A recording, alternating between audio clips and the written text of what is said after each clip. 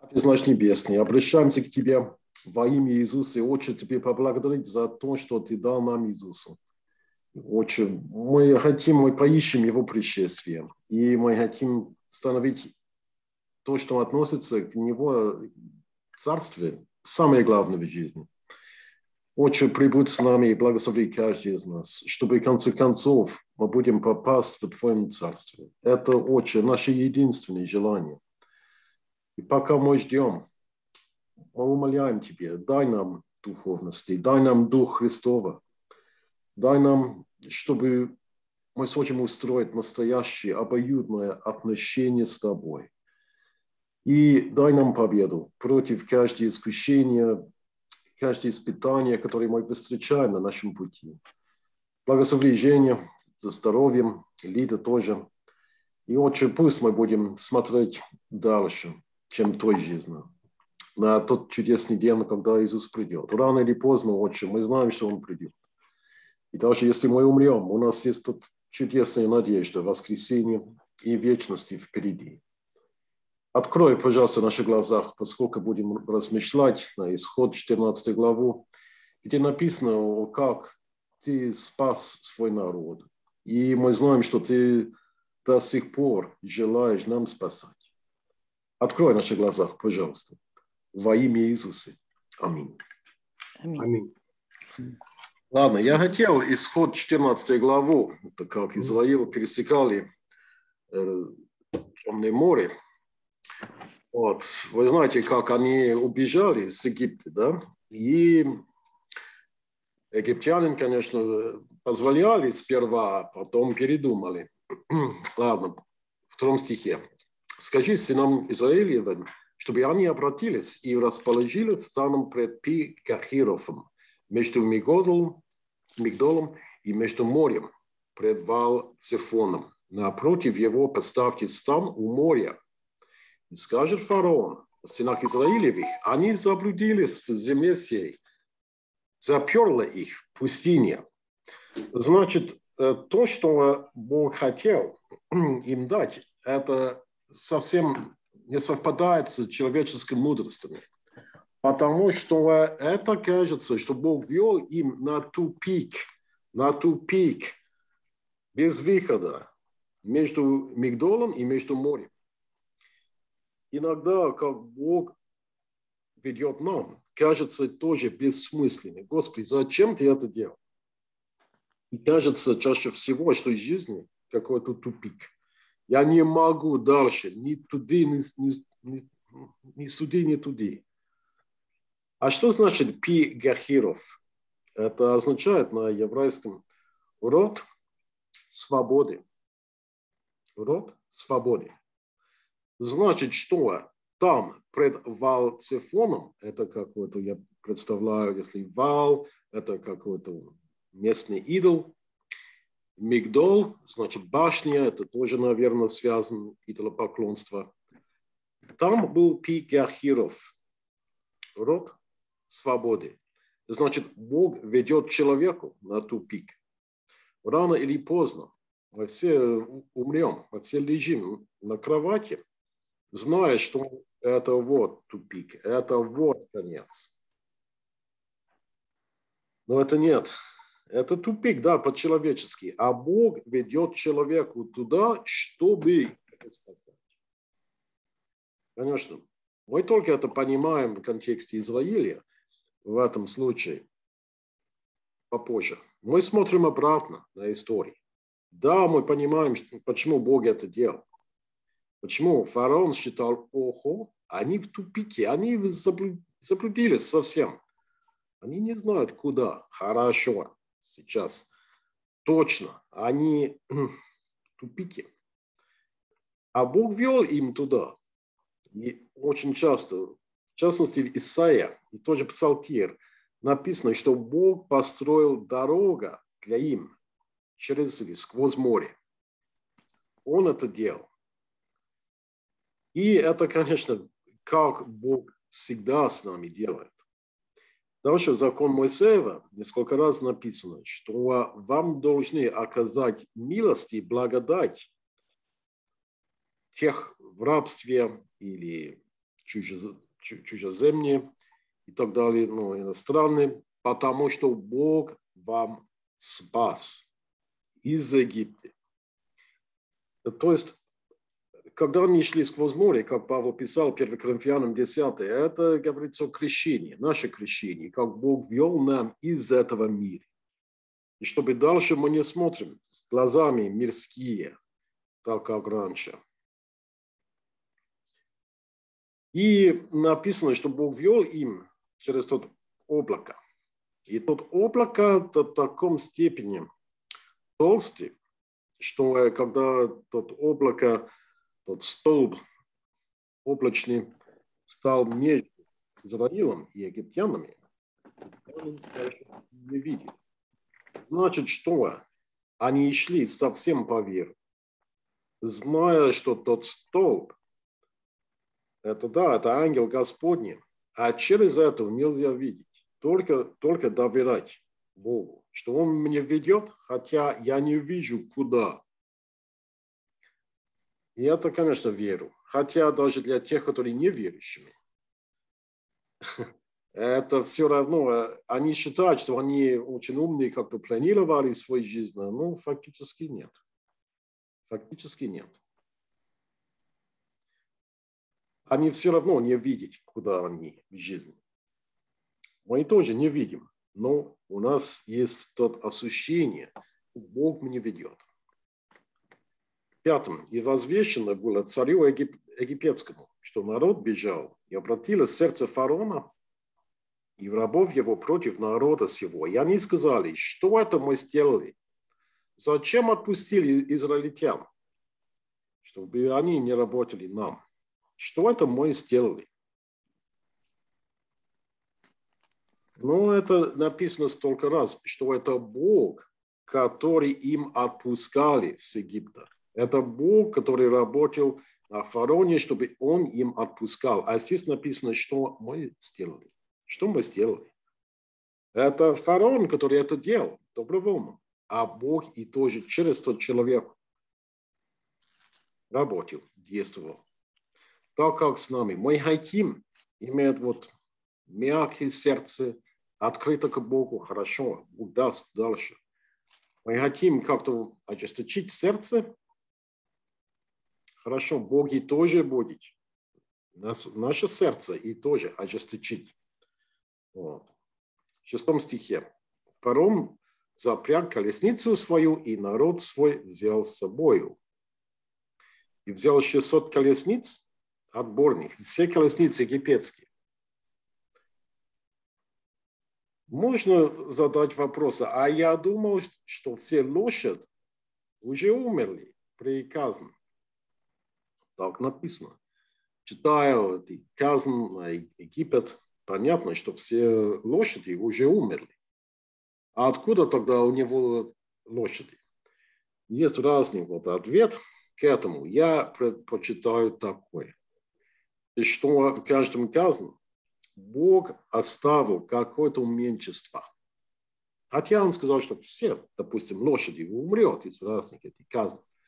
А всегда остался какой-то какой остаток, чтобы даже Египет показать, что у меня есть благодать. Мы знаем, Павел писал к римлянам, что остаток, факт того, что Бог всегда останет какой-то остаток, это знак Его милости, Его благодати. Но они не хотели обратить внимание к этому. Ладно, в восьмом стихе. «Я ожесточил Господь сердце фараона, царя египетского, и он погнался за сынами Израилевыми. Сыны же Израилеви шли под рукою высокую. Что значит? Израиль шли под рукою высокую. Я понимаю, что это рука Божья. Несколько раз дальше в Библии написано, что у Господа есть очень вот высокий рук. А что Бог сказал Моисею? поднимай рук твой. И вот тот маленький человеческий рук, который Моисей э, поднял, это было какой-то символ. тот высокий рук Господня. Рук означает то, что мы делаем. Наша попытка ну, делать в жизни, в жизни, как мы делаем. Значит, если для Моисея его рук получается тот высокий рук Господний. Если мы кое-что пытаемся делать для Господа с нашими силами, если мы уповаем на Него, значит, наш рук получается Его. И Бог очень ну, высокий поднял тот рук. Представьте, тот рук Моисея, маленький такой, поднял. И вот, это высокий написано рух Господний. Десятом. Фарон приблизился, и сыны Израилева оглянулись, и вот египтяне идут за ними. Они видели бы ну, прах и так далее там в пустыне из колесницы и лошади. И весьма устрашились и возопили сыны Израилевы к Господу. И сказали Моисею, разве нет гробов в Египте, что ты привел нас умирать в пустыне? Что это ты сделал с нами? выведи нас из Египта. Видим здесь, как у человека может быть и вера, и неверие. На одном и тот же момент. Написано, что они возопили к Господу. А то же самое сказали Моисею, а зачем ты это делал? 12. Но это ли самое говорили мы тебе в Египте, сказав, оставь нас, пусть мы работаем египтянам, Ибо лучше быть нам в рабстве у египтян, нежели умереть в пустыне. Кажется, вера нуля. Но они тоже в 10 стихе возопили к Господу. Помните, тот человек, который сказал Иисусу, я верю, а помоги моей неверии. Это мы часто видим. Даже с Моисеем сам, когда он убежал из фараона, когда ему 40 лет – написано, что он убежал, потому что он боялся царя. В Новом Завете написано, что он убежал и не боялся царя. Значит, у него и вера, и неверие в одном и том же момент. И это прекрасно, к сожалению, это наше положение. Ну, Бог смотрит, кажется, на положительном, потому что Псалтир 77 вот э, Псалтире написано, что Бог вел им, и они не устрашились. Здесь написано, они устрашились. Так как вера и неверие на одном и том же момент, и тоже страх и не страх на одно и то же время. Я очень люблю Библию, потому что это все как-то психологически верно. Это так с нами. У нас есть и вера, и неверие в одном и том же моменте. И то, что я очень жду, не дождусь в Царстве Божьем. Наша вера, наше отношение с Богом будет чистым, стопроцентным. Когда иногда люди говорят, ой, у меня вера, я сто процентов верю в Господе. Я всегда думаю, сто процентов. А ты еще человек. Так и нет. Итак, зачем они напуганы? Вот, устрашились. Ой, египтянин за нами. У египтянин было 600 колесниц. А сколько народ израильтянин? 600 тысяч мужчин. Я думаю, что цифра 600 немало значительна. 600 колесниц. О, вау, 600 колесниц. Даже если 3-4 человека в одном ну, колесницу, это ну, пара тысяч. У них 600 тысяч мужчин. А когда они видели египтянин, ой, устрашились. Почему? Потому что у них был менталитет все равно из Египта, где они боялись египтянин. Ой, египтянин там, ой, я боюсь.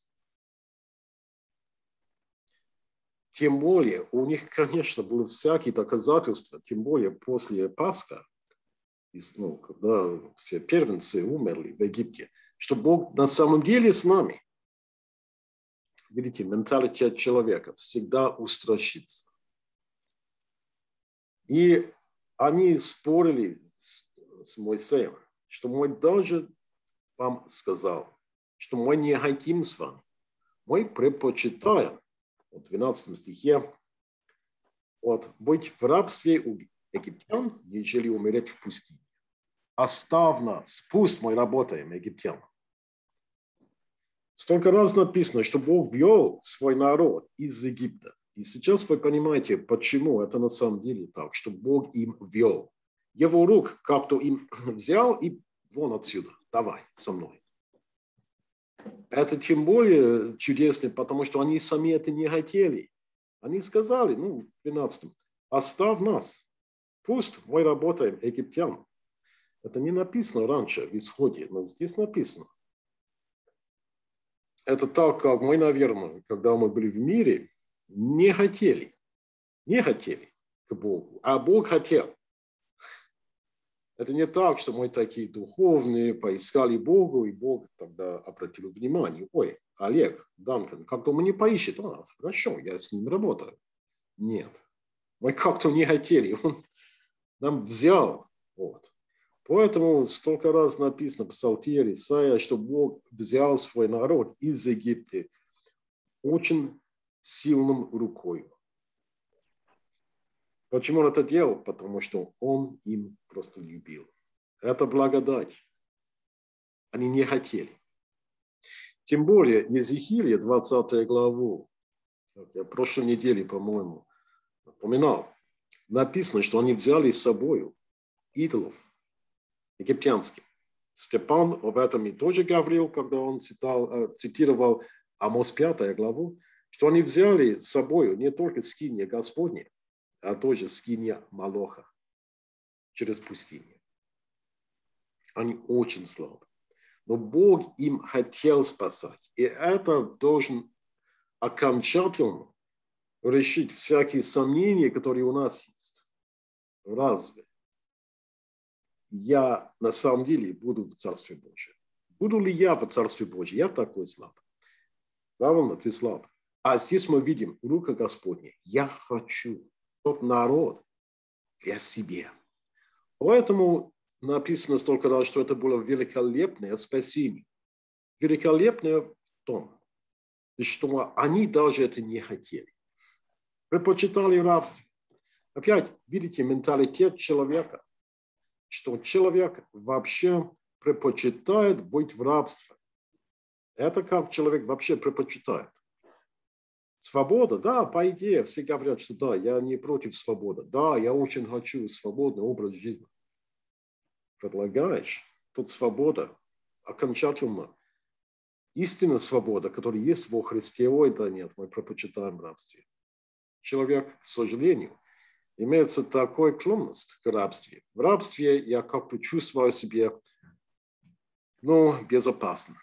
Ладно, это в рабстве. Но я знаю, что мне надо делать. Надо строить кирпичами за кирпичами. Все.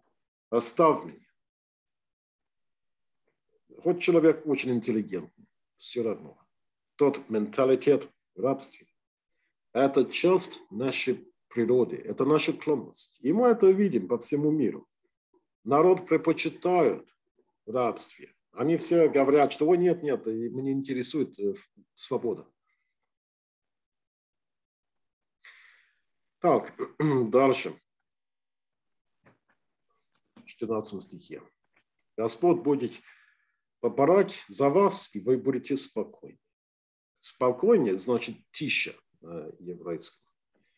И это то же самое возле стены Ерихона. Бог сказал то же самое.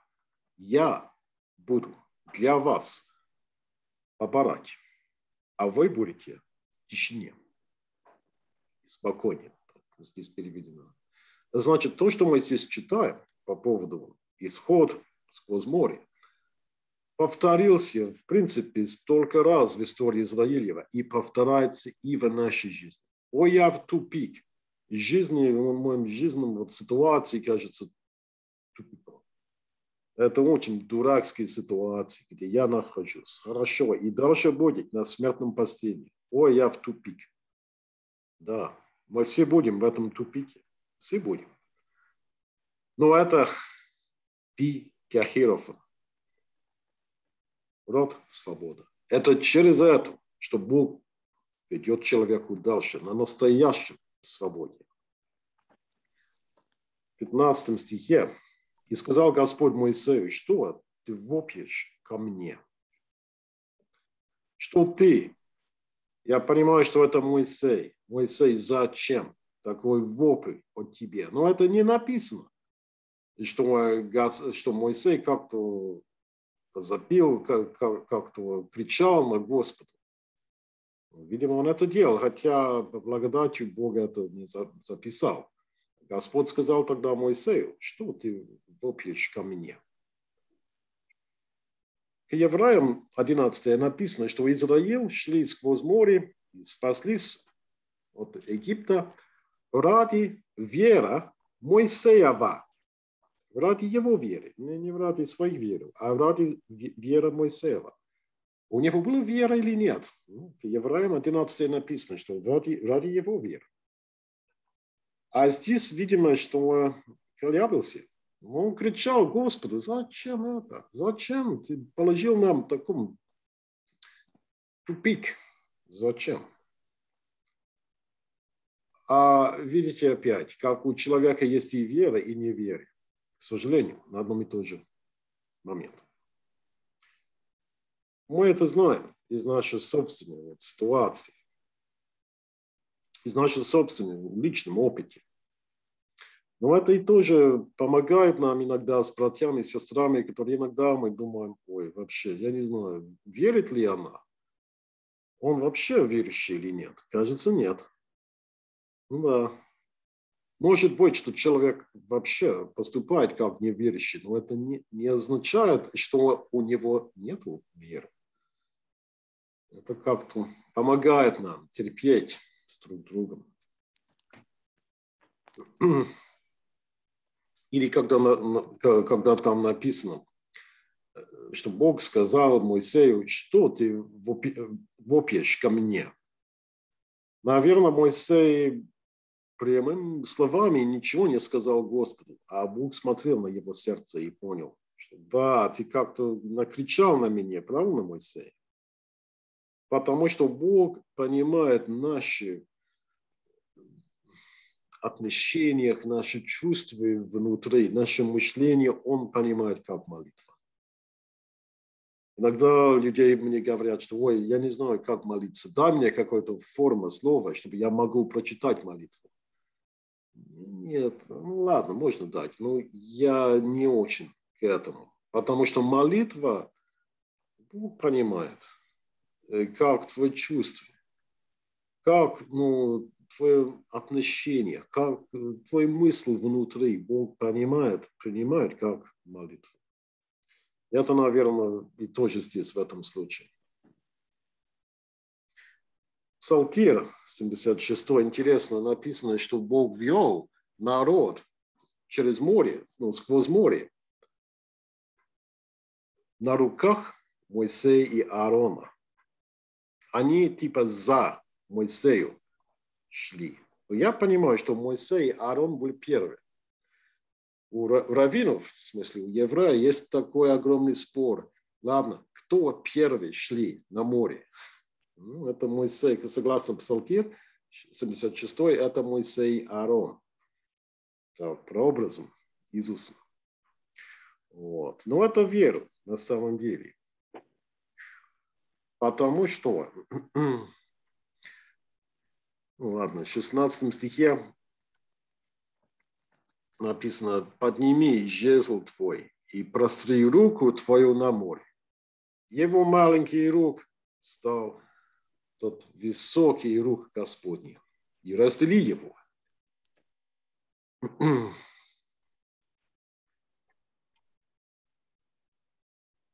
И в 21 простер Моисей руку свою на море. И гнал Господь море сильным восточным ветром всю ночь стел море суши, и расступились воды. Кстати, Израил написано было 600 тысяч мужчин. Получается, что с женщинами, детьми, сколько человек даже? 3 миллиона, 4 миллиона. Очень многие. Они шли сквозь море в этом ночи, потому что дальше написано, что когда уже утро, море вернулся.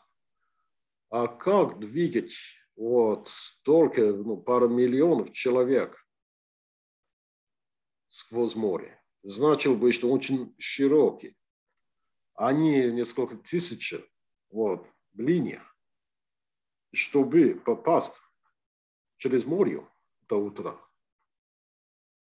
Представляем. И значит, что вот тот чудо было на самом деле огромное. Огромное. То есть это не был узкий путь, очень широкий, чтобы им все поместить. И тем более написано, что сразу, когда они все были на другом сторону, море вернулся, и египтяне умерли посередине моря. Тот море вряд ли больше, чем один километр. Представляете, как было бы. Послед, последний израильтян шел вот на, на берег. Воды вернулся. И египтяне умерли посередине.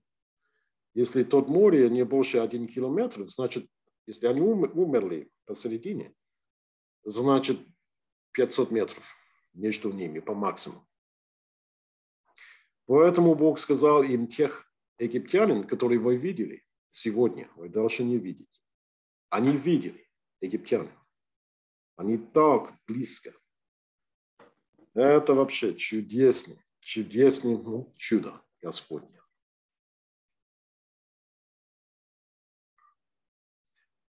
Восемнадцатый.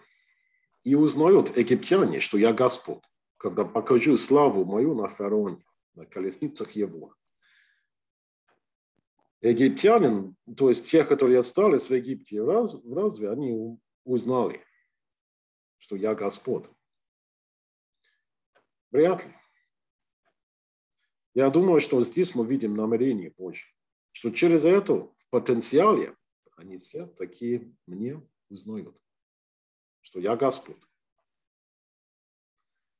Так как написано, что Бог желает, чтобы весь мир спаслись бы, но они не будут. То есть Бог делает потенциал для людей, для египтян. Узнать, познать, что я Господь. Но они это делали? Нет. Большинство не делали. А мы, которые это делали, я не говорю, что мы такие молодцы, что мы такие ну, хорошенькие. Но и тоже это так, что это дал бы Господу огромное удовольствие, что, по крайней мере, кто, кто как-то реализовал тот потенциал, который я как-то открыл.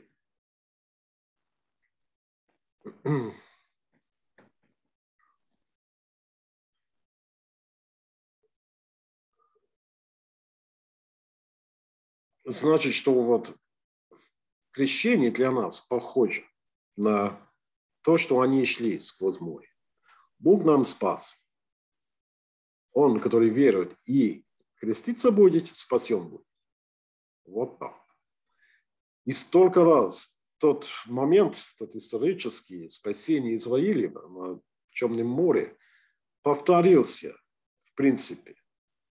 Столько раз написано что так как Бог спас Израиль через море, так он, кто, допустим, Давид спас дальше. Принцип о том, что мы здесь встречаем, допустим, что только когда ты в тупике, Бог будет тебе спасать, например. Вот. Факт того, что Бог ведет нам, кажется как-то без логики. По человеческому логику нет, не то. Вот. Это повторяется в жизни. Тогда тут истории. Это не мертвые истории. Это живая история, которая повторяется, в принципе, в каждом жизни. В 28 стихе. И вода возвратилась и покрыла египтянин, покрыла. Во время казни, лягушки, саранчи и так далее, то же самое написано, что Египет как-то совсем покрыла с этими, допустим, саранчами, лягушки и, и, и так далее. И как написано в 28 стихе, не осталось ни одного из них. То же самое написано по поводу саранчи, что после этого казан все саранчи улетали в море, и не осталось ни одного из них. То же самое написано. Значит, что тех казн должен как-то быть намек к Египту, что я могу даже сильнее делать и с вами лично, с людьми. Они это не хотели. Не хотели это. И намек взять. И с нами тоже Бог всегда как-то очень мягкий, как-то даст нам намек, что не надо так. Вот если так делаешь, вот так будет. Сколько раз. 31. И увидели израильтяне руку великую, которую явил Господь на египтянами. И убоялся народ Господа, и поверил Господу и Моисею, рабу его. А как долго поверили Господу? Не задолго. После три дня, ой, воды нету, ой, еду нету. Ой, как мы хотели развернуться в Египту. А здесь написано, что поверил Господу. Народ поверил Господу. Боялся народ, Господи. Страшно было. Но это за момент. Это только сколько часов? 24, ну, пару дня. Может быть, что у человека есть какой-то пик веры, духовности, но это уходит. И это опять ужасная склонность, которая у нас есть как человека. Иметь очень интенсивно веру и духовности на одном момент или какой-то промежуток времени.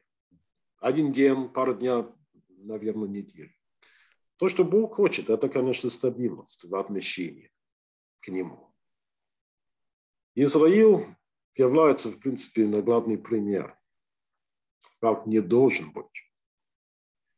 Мы хотим иметь такую стабильную веру. Не просто иногда, что ой, я сейчас верю, ой, Господи, я верю. Я почему-то очень не люблю этот ну, подход пятидесятников, что ой, мой в церковь, это воскресенье, ой, Господи, как я тебя люблю, ой, ой, ой, ой, говорят на языках.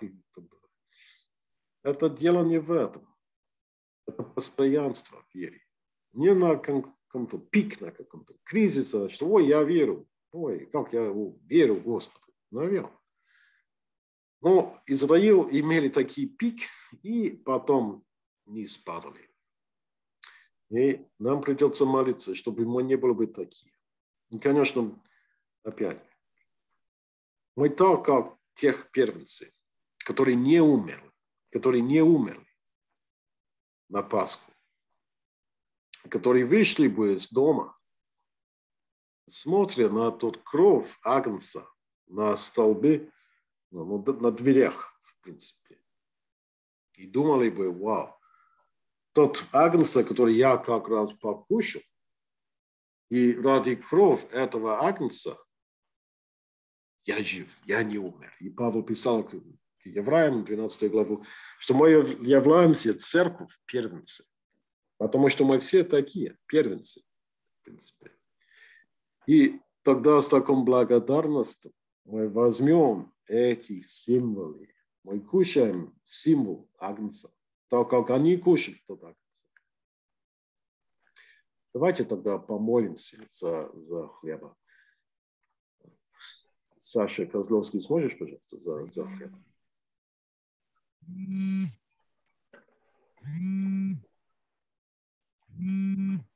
Иисус Христос, что Ты объединяешь не нас всех, как зерно объединяется в хлебе, так и ты нас объединяешь в вере. Слава Всевышнему Богу за милость, которую Он оказал для всех нас. Аминь. Вот это символ Его тела для нас ломимое. Что я смею?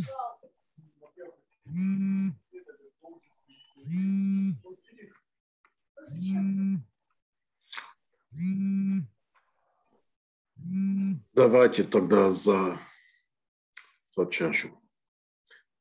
Олег, сможешь, пожалуйста?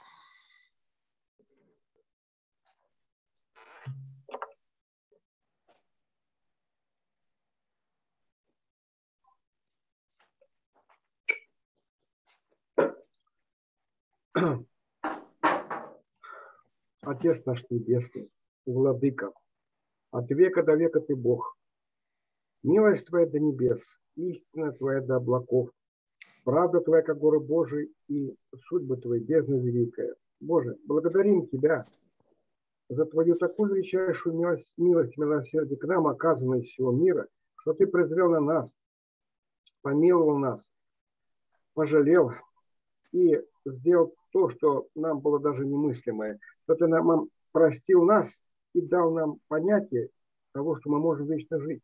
И та кровь, которую Иисус пролил на кресте, величайший символ. И для того, когда мы понимаем, берем чашу в наши руки, мы должны с благоговением а, принимать это, оценивать и сознавать, что Иисус это сделал осознанно. Наш Господь добровольно, бескорыстно исполнил то, что Бог хотел, чтобы эта воля была его исполнена. Этот нашелся человек, который исполнил эту волю. Сын возлюбленный нашего Бога Великого, он сделал это возможным. И теперь мы таким благоговением, радостью принимаем это, вспоминая, что Иисус умер за нас, чтобы нас избавить от всякого беззакония и очистить себе народ особенный ревностью к добрым делам. Благодарим Тебя за это, Отец Небесный. Славим Тебя, хвалим сердцах наших, в наших жизнях, поведением нашим и нашим искренним желанием прибыть в Царство Твое. Слава Тебе, великий во веки веков, во имя Иисуса. Аминь. Аминь. Это вот символ, его кровь. Да.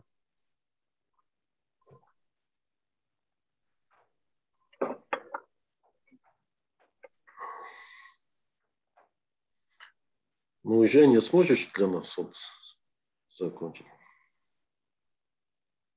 Да, конечно. Отец наш Небесный, мы благодарим Тебя за то, что мы Тобой движемся, живем и существуем, благодаря силе Твоей и Слову Твоему. Ибо по Слову Твоему мы сотворены, и Ты образовал, создал землю для жития, чтобы человек вечно жил на ней. Мы благодарим Тебя за Спасителя нашего, Иисуса, через которого Ты осудил грех во плоть. И через Него также смерть не могла удержать Его в могиле, ибо Он победил грех. Спасибо Тебе за эту великую победу, которую Ты даровал нам через Иисуса ибо мы знаем, что придет такое время, и смерти не будет. И мы воскреснем для новой и вечной жизни. Спасибо тебе за эту милость. Спасибо тебе за милости, которые будут в будущем, ибо мы в надежде ожидаем нашего Спасителя Иисуса, которого ты создал для человека и даровал его нам. Спасибо тебе за все, что делается, ибо мы научаемся от тебя, видим все, что происходит, и все происходит только по воле твоей. Мы знаем, что всему скоро наступит конец. И мы, если и умрем, мы живы у тебя. Если мы умираем, и мы живы будем в пришествии, мы живем только для тебя, Отец. И сейчас благоприятное время, пока Иисус находится перед престолом Твоим и молит за людей, которые действительно верят Тебе, верят Твоему Слову и верят в исполнение Твоему Слову. Это Слово Твое, которое сказано раньше, но исполнится в будущем. Спасибо тебе за эту милость. Но когда Иисус спустится, Он придет для суда. Спасибо тебе за все, Отец. Мы ожидаем Его, ибо суды Твои угодны для нас. Мы понимаем все, и мы ожидаем судов. А сейчас услышь нас с места обитания Твоего через Иисуса. И пускай наша молитва войдет пред светлое лицо Твое. Услышь нас. Аминь. Аминь. Амен. Спасибо.